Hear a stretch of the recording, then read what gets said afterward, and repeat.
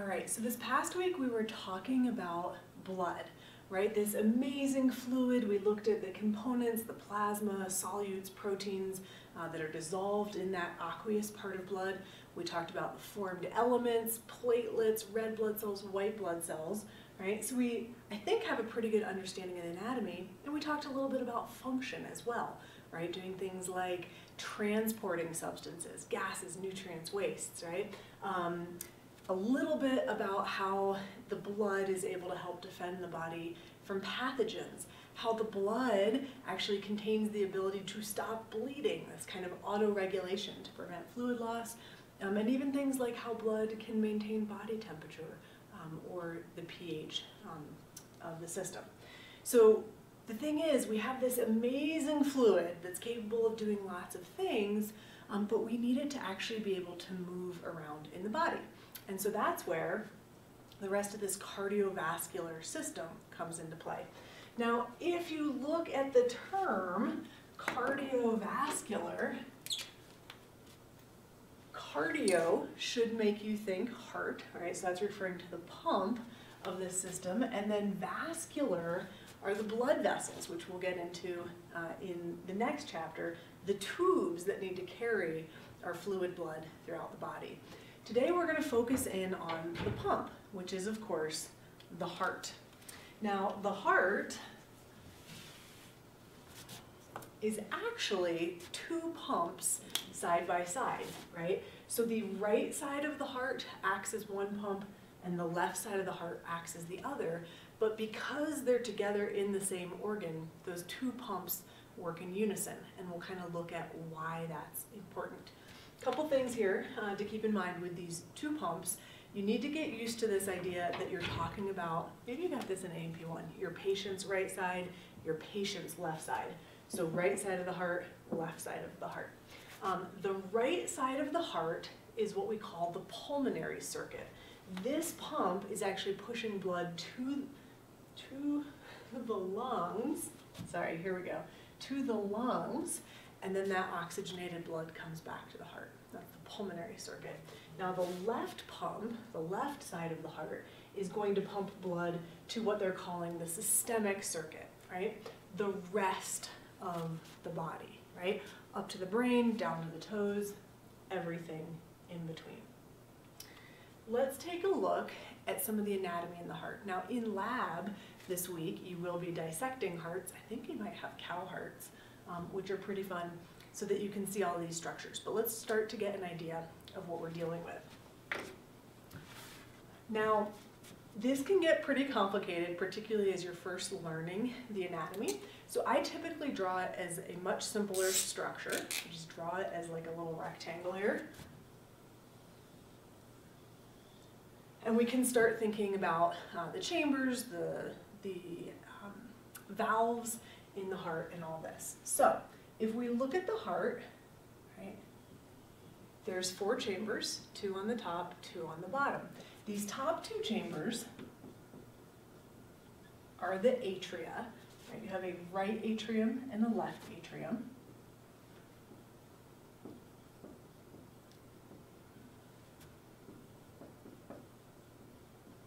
right? So atria is plural, atrium is singular, and atrium is like an entryway. So maybe in a fancy house or like a botanical garden or something, you have this entryway. And so in fact, these two chambers are the receiving areas of the heart. So here in the right atrium, we actually see blood flow coming in through the superior and inferior vena cava, and also through what's called this, this opening to the coronary sinus.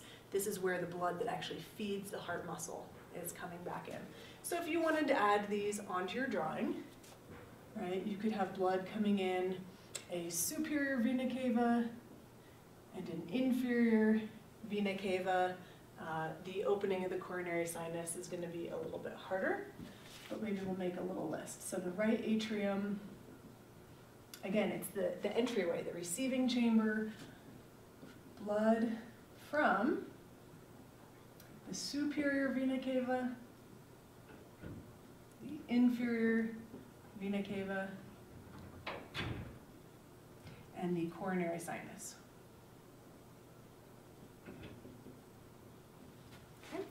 The left atrium, I'm not, I can't draw all of it, but here we see um, the vessels coming back from the lungs, um, and these are the pulmonary veins.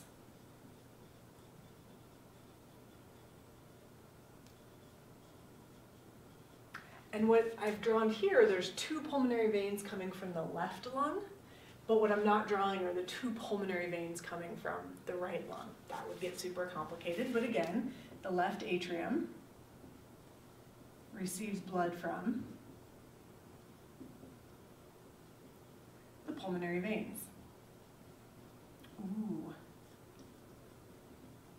This is something that often throws students. I think we learned somewhere along the way that arteries carry oxygenated blood and veins carry deoxygenated blood. It's not true. Arteries carry blood away, artery away from the heart. But notice the arteries from the right hand side, they're actually carrying deoxygenated blood to the lungs, right? So pulmonary arteries are carrying deoxygenated blood. It's away from the heart. The pulmonary veins, look how bright red they are, full of oxygen from the lungs, pulmonary veins. So veins return blood to the heart, arteries carry it away. Okay? All right, so those are our atria, our entryways. Now the lower two chambers here are the ventricles. Sorry, that's an N, ventricles. Now, this root, venter, if you think about, so we talk mostly about like anterior, posterior, but in a four-legged animal, we tend to use the terms dorsal and ventral, right? The underbelly. The underbelly is the vent, uh, so ventricle here um, refers to these lower two chambers. Again, a right ventricle, and abbreviate, and a left ventricle. And these are the actual pumps, right? This is, notice how much more muscle is down here than we see um, up in the atria.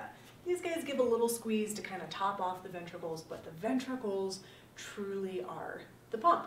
Now, on the right side of the heart, we're gonna get that blood uh, from the right atrium down into the ventricle, right, through a little valve. We'll talk about that in a minute.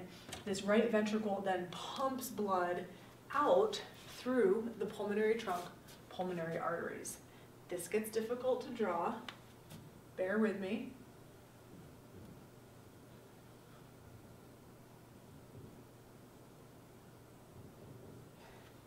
Um, let's do over here. The right ventricle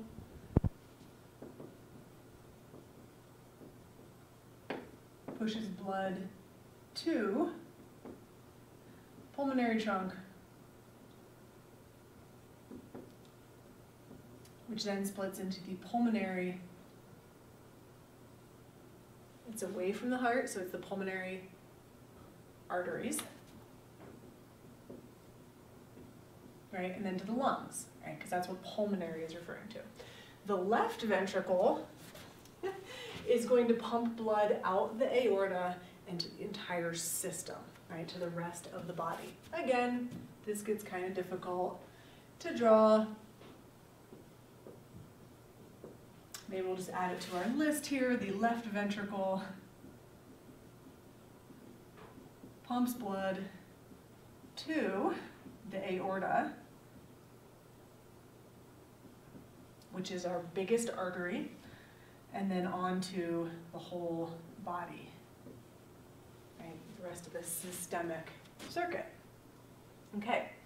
Um, so we have two pumps here, ah, side by side. What I want to point out, so here's maybe a better look at that, kind of a cross section of the heart is really trying to show you the difference, particularly in the musculature of the right and the left ventricle. The right ventricle, since it's pumping to the lungs, the lungs are right next door, right? So it actually does not exert a lot of pressure to move the blood there.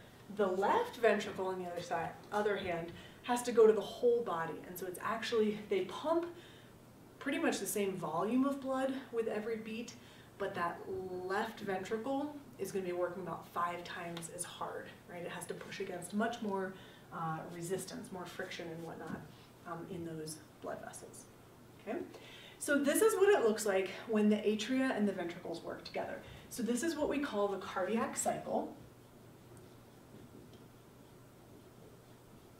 right? Which is just a full uh, rotation of who's contracting, who's relaxing. And so these are some terms that you need here, systole and diastole.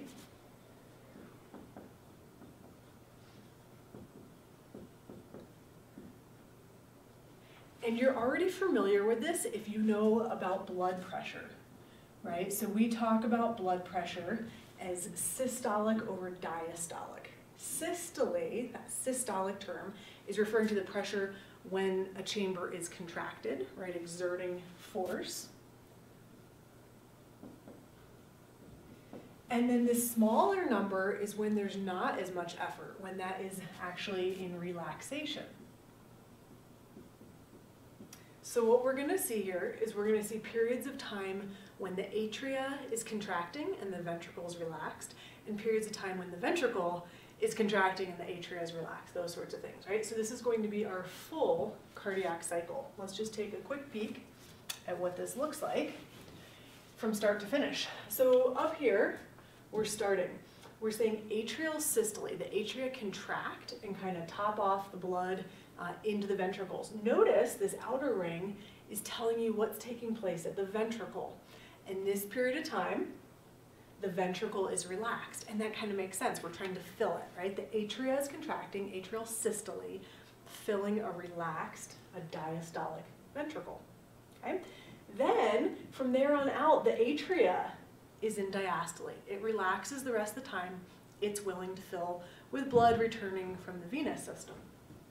Here we see the ventricles actually contracting, so ventricular systole, in order to push blood out to the lungs or the body.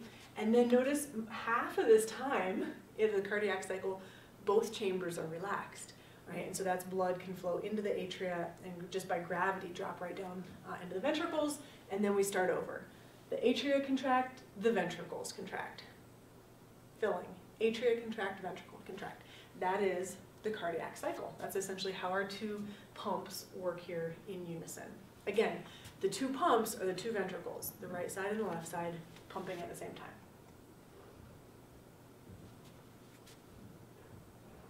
I love this. I wish I could slow it down, um, but we want to talk a little bit about valves. In order for this pump to work efficiently, this pump being the heart, we need to make sure that blood is not flowing backwards at any time. And so we use a series of four different valves to make that work.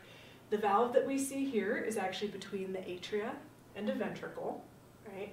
And so as the atria contracts, blood is pushed into the ventricle. But then when the ventricle contracts, we want that blood to go to the pulmonary trunk or the aorta, right, depending on the side of the heart. We don't want any going back into the atria. That would be a backflow. And so you see this little valve squeezing shut to protect to prevent that. So as we look at the valves, Right, in the heart, we have four different valves. Two of them are preventing backflow into the atria, and two of them are preventing backflow from blood vessels, from arteries, into the ventricles. Let's start with the atrioventricular valves.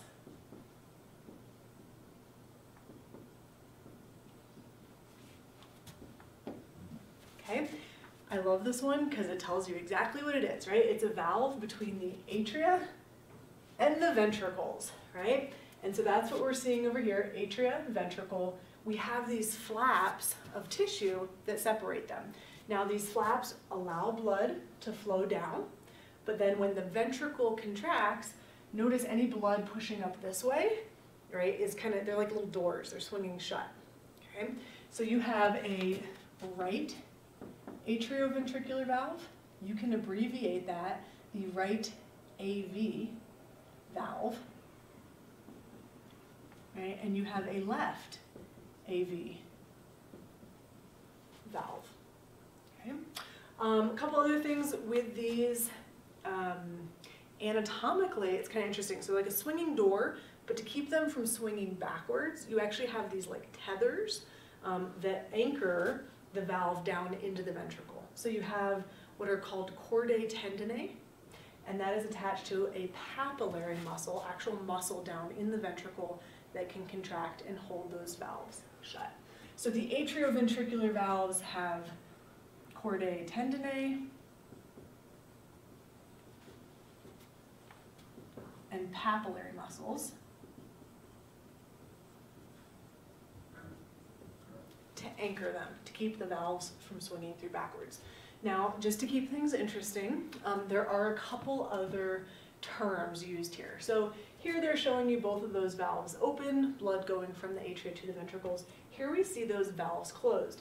Now notice on the right side here, we see three separate flaps on the valve. On the left-hand side, there's only two. So on the right-hand side, a lot of people call this the tricuspid. I find that people who are already in the field are EMTs and stuff, that is what they know this is, the tricuspid valve and the bicuspid valve, right? And sometimes you'll see people call this left AV valve the mitral valve. So if you've heard of that, that's what they're referring to. Isn't that fun? Three names for one anatomical structure. You can call it whatever you want. You should probably recognize all three of them because they are um, actually all, I would say, widely used. Okay, um, so that is our atrioventricular valves. Right, so that accounts for two of our valves. We also have what are called semilunar valves, two of those. Okay, these semilunar valves, you can kind of see in these pictures, that one's better. Um, they look like little, um, like a t-shirt pocket, right? If you picture like the little pocket. Um, so when blood is trying to flow back into the ventricles, right, say out of the aorta, as blood kind of sags back down the aorta and wants to go to the ventricle, these little t-shirt pockets fill up, right, and push together, and that's going to prevent the backflow. But when the ventricle contracts and is trying to push blood out to the aorta or the pulmonary trunk, notice it just pushes those wide open, right? So just like a t-shirt pocket, you could slide up one way, but you might get caught if you were coming down the other way. That would be closing the valve, okay? Um, you have a semilunar valve, uh, a um, pulmonary semilunar valve, and your book really just calls it the pulmonary valve. Totally fine with that. Um, that is going to be from the right ventricle up into the pulmonary trunk, right, separating those.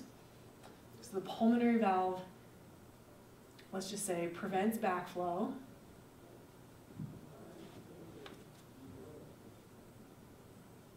into the right ventricle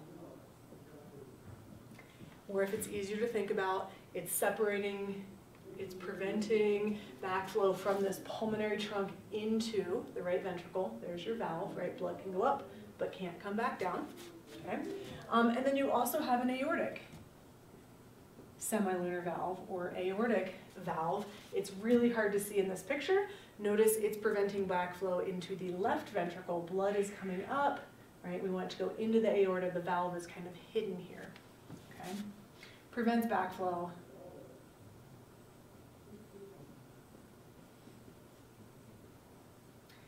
Into the left ventricle.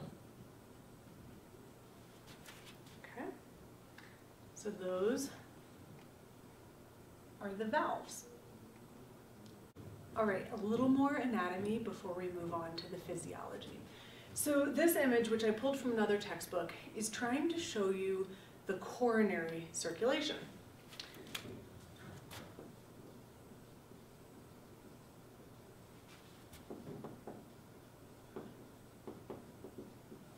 And these are the blood vessels that we see in this picture actually feeding the heart itself. Now, this can be a little confusing. You're thinking, well, here's this giant organ, it's hollow on the inside, it's full of blood. Why don't we just use that blood? Remember, the heart is beating constantly, right? It has huge aerobic demands for nutrients and oxygen. And recall that diffusion, right, that blood inside of the heart, it can really only feed cells that are like one or two cells away. So we really do need a branching set of arteries, right, breaking down into tiny little capillaries to deliver the oxygen and the nutrients to every single cell in this organ. So what we're gonna see here is really, right, that the heart takes care of itself. Here's the aorta, right? So all that oxygenated blood in the left ventricle. When that left ventricle contracts and it's shooting blood out of the aorta, notice right at the base of the aorta is where these coronary arteries come off, right? We're not waiting till the blood gets down somewhere, you know, in the abdomen and then send a vessel up. No, right away. We're serious about getting oxygen to this organ. So really you have two branches here, the left coronary artery and the right coronary artery. Let's follow the left first.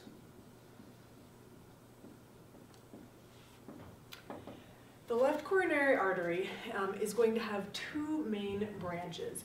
Here we see kind of wrapping around the left-hand side of the heart is a branch called the circumflex artery.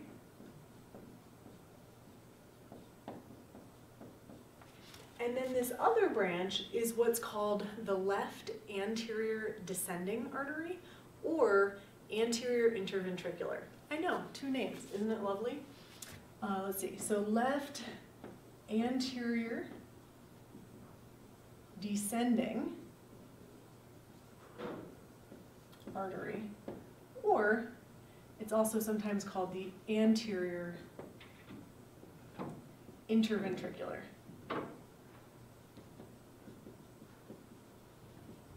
artery. Okay?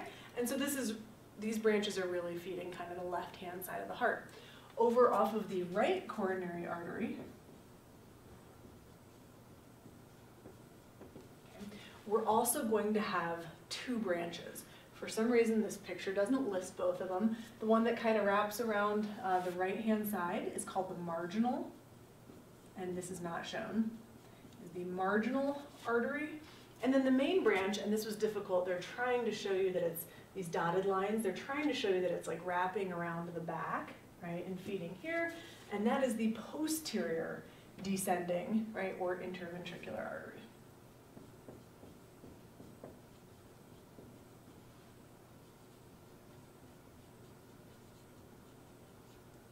Posterior descending artery or posterior interventricular interventricular. Right? This is going to supply the heart with blood, and then we also have a whole set of veins then that are going to collect this blood. Um, uh, again, not showing up on this picture, uh, these cardiac veins, they're going to kind of bring the blood in. It all joins on the back and dumps into uh, that coronary sinus that we saw in the right atrium. You'll get to see this a little bit better um, on the models in lab. These vessels, right, since they are in charge of taking um, all this blood to the heart, right, really supplying it with all its needs, um, we want them to be wide open, right, free from any clogs, blockages, obstructions, um, but what we'll see if you're familiar with atherosclerosis, right, hardening um, of the arteries. That's what we see here in these images, these plaques forming, and really over time, very much constricting uh, blood flow through these arteries. And of course, um, at the end stage of, of this, um, you can actually cut off blood flow. That would give someone a myocardial infarction or heart attack, right? Part of that heart tissue is going ischemic, right? It's not getting blood, um, and that heart muscle is going to die. That's bad. Okay, so um, anatomically, right, just the placement of the heart should tell you maybe a little bit about its importance as well. So here we see the heart located in the center of the thoracic cavity, right, the whole thoracic cavity. Um, we refer to that kind of central area, right, we have two pleural cavities where the lungs are located. Um, the mediastinum is where you'll find the heart.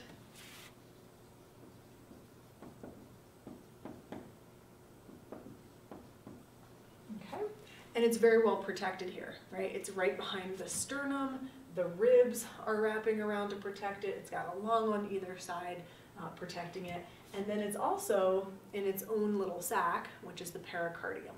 So let's look at a little bit about the uh, structure of the heart and some of those protections. So here um, we're looking at the layers of the heart, right? So we're zoomed in on this little slice. And so let's take a look from the inside out, right? The endocardium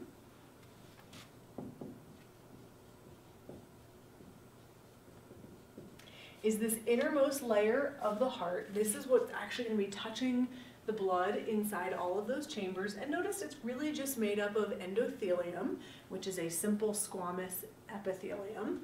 And we will use that endothelium. Oh yeah, we saw this in uh, when we were talking about platelets in the coagulation phase, right? So the specialized name for simple squamous epithelium right? And then a little bit of areolar connective tissue as well. That's the endocardium. Now, most of the actual heart wall, right, the heart, is made up of um, myocardium.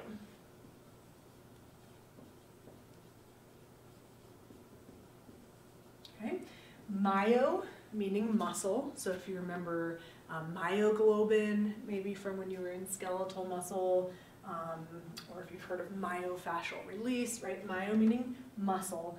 This is the actual muscular wall. It's going to do the contracting, going to do the pumping, right? We'll talk about the cardiac muscle cells, um, and then they're held together with connective tissue. So this um, myocardium is actually arranged in kind of this spiral um, setup. This is going to make it more efficient at kind of wringing the blood out of the heart. And there's actually um, what they refer to as a cardiac skeleton. It's kind of these bands of connective tissue that help anchor um, the myocardium in this particular uh, format.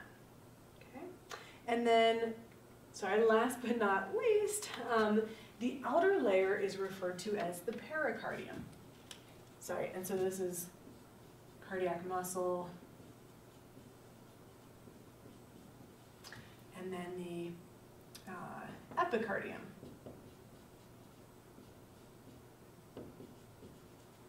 Um, sorry, and I said pericardium because they're interchangeable um, in some ways. So the epicardium is just this outer layer. Um, again, it's going to be simple squamous epithelial cells.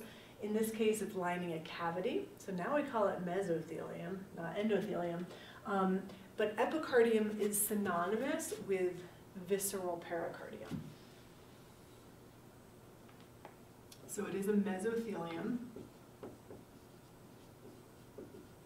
Again, just simple squamous epithelium, but lining a cavity.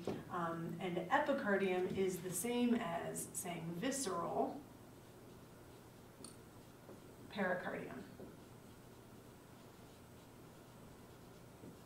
Now, the pericardium, when we think about that layer, we think about the sac that the heart sits in.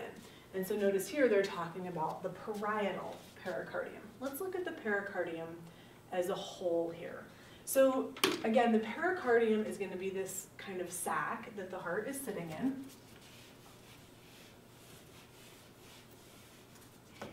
And it has multiple layers, and so that's what makes this language um, a little bit more complicated. So what you'll see here is, notice they're showing you this little space here.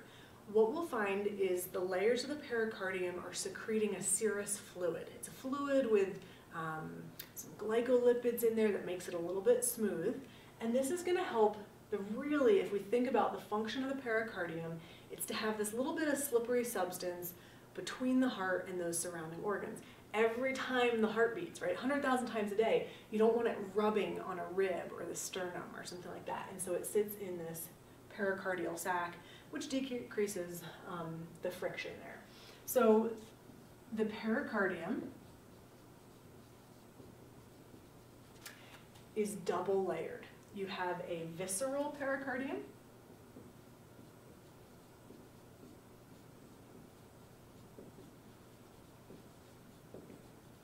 which is the actual surface of the heart, right? That is the uh, epicardium that we were just talking about here, right? Same as visceral pericardium. And then we also have the parietal pericardium.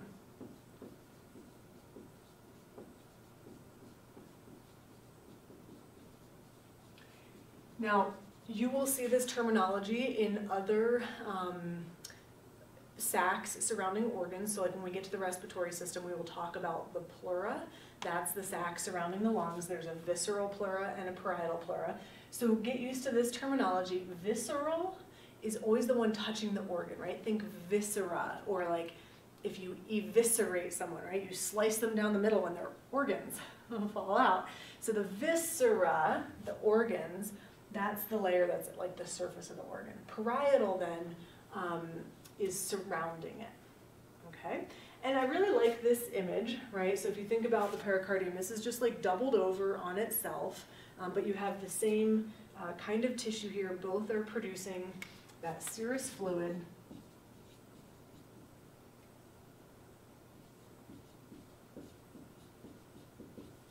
We would call that pericardial fluid.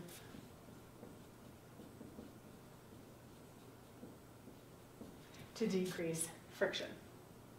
Okay, now the parietal pleura also has this very thick fibrous layer um, on the outside, and I'm just going to say with fibrous layer.